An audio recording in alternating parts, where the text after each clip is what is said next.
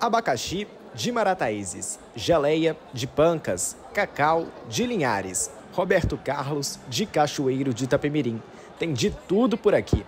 É o Espírito Santo em um só lugar. Cachoeiro tem especial o carisma das pessoas, é, principalmente quando eu fui para lá e não era nem conhecido como cover do Roberto. Fui recebido assim com muito carinho. A cidade eu acho muito linda, aquele rio Itapemirim é fantástico. Enfim, é uma cidade acolhedora. A Feira dos Municípios voltou depois de mais de 20 anos. Quem quiser visitar o pavilhão de Carapina até o dia 3 de setembro vai encontrar uma variedade de estandes e conhecer mais sobre a diversidade artística, cultural e gastronômica do nosso estado. Teremos aqui também a possibilidade de você fazer compras de diversos produtos que esses empreendedores desses municípios é, estarão apresentando nas estandes que, são, que, são, que estão distribuídas aqui no espaço, no pavilhão de Carapina. Então é um grande, além de um grande espaço de lazer, que vai ter muito show, né, de alegria, de felicidade, de animação, também é, uma, é um grande espaço de aprendizagem. Por aqui é possível fazer uma viagem pelo estado. Os 78 municípios capixabas estão representados aqui pelas regiões turísticas. A ideia é que a feira consiga fortalecer o senso de identidade cultural e propiciar oportunidades de negócios aos empreendedores capixabas.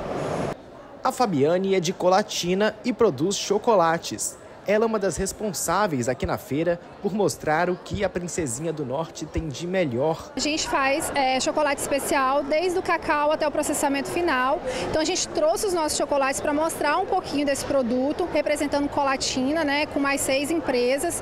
Então assim é muito bacana esse evento porque a gente consegue mostrar para o consumidor final a qualidade e o diferencial do nosso produto e ainda pode fechar várias parcerias.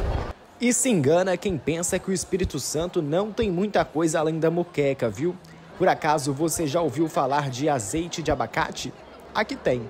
A feira é uma oportunidade de fazer negócios e conhecer os novos produtos. A Sayonara, por exemplo, é de São Mateus. Ela produz e comercializa bebidas alcoólicas, cachaça, rum, uísque, tudo com a própria marca ela tem aproveitado a feira para divulgar os seus produtos.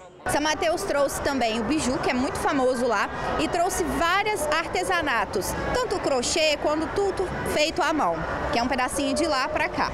Bacana, mesmo que o espaço é pequenininho, mas deu para trazer um pouquinho de cada coisa para mostrar aqui na feira. O Ivo também tem aproveitado. Ele é produtor de cacau e está representando Linhares. A cidade é a maior na produção do fruto no estado. Linhares representa 80% da produção de cacau do Espírito Santo. Então, por isso que ela é chamada da terra do cacau. Hoje a gente trouxe aqui para a feira mais de 18 produtos oriundos do cacau. Então temos cacau, caramel, é, cacau em pó, cocadas, amêndoa caramelizada, chocolates, nibs, drageados, uma linha bem completa de produtos.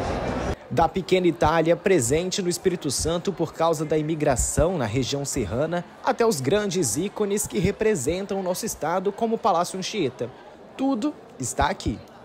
Nós temos um parque de diversões aqui, né? com a roda gigante, com touro mecânico, nós temos uma fazendinha, que para o pessoal entender como é que funciona uma fazenda, né? nós temos uma grande stand de flores, temos 10 restaurantes regionais com comidas típicas, 20 cervejarias, o coreto, nós teremos 40 atrações artísticas somente capixabas, todo mundo é capixaba, além de mais de 50 manifestações culturais que estarão aqui passando durante os quatro dias.